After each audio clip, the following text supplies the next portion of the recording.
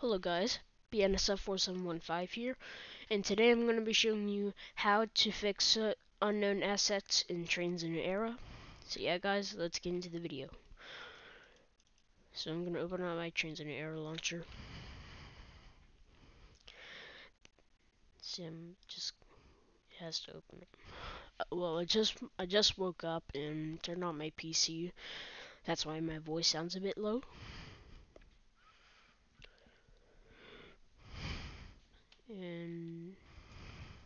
Go into the content manager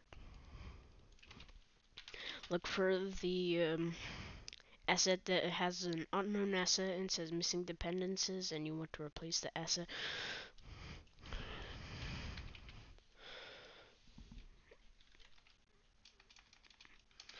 which um, I bought a CSX uh, C40-8W YN3 off of jointed rail. When I first dragged the CDP file into the content manager, it then it said missing dependencies. I went to list dependencies and then the config file. It says that and said that the interior is an unknown asset. And um, how am I going to do that? Well, um, you have to right click it, go to open, click edit config file text. Take you right to here. Well, since it's in the interior, find the find the asset that you want to replace it with. It could be a horn sound, interior, a um, a locomotive skin, whatever. but I'm gonna do a interior. So I'm gonna take the interior from the um from grandma from grandma's version of the um, C40-8WYN3. So to do that, you need to right click it, go to open, click edit config file text, go to the interior. For example, the interior is what's an unknown asset.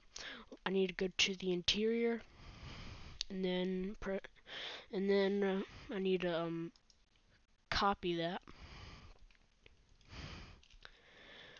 Then go back to the config file text on the locomotive viewbot, and then highlight that KUID.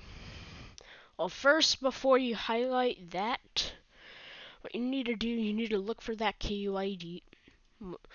Well, you have to have like, you have to have like the um dependent included dependencies in your um, config right here. So now paste your key now paste your um, KUID right there.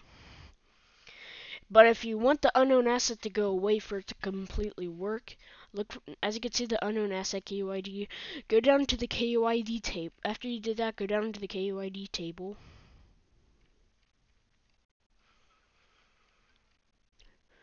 She says a lot of stuff.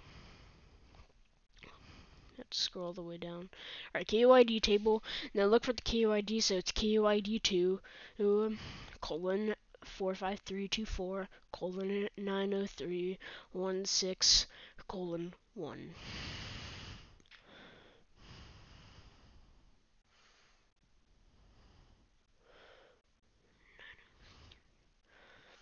And it said 90 and it said 90316.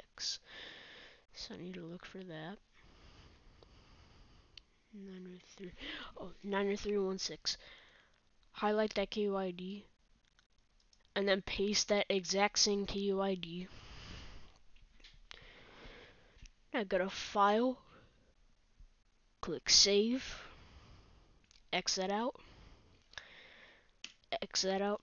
Go back to your um, one with the unknown asset and submit edits. It, it'll probably take a long time, but if it's quick, well, it is quick.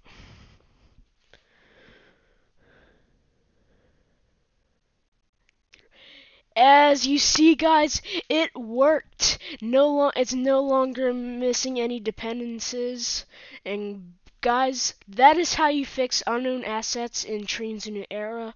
If you guys enjoyed this video, please leave a like, comment down below what you thought about it, and subscribe to the channel to help out. Mm, subscribe to help out the channel. Have a great day. Have a great morning, everyone. As you can see, it's 7:58 in the morning for me. Have a great morning, every. Have a great morning and day. See ya.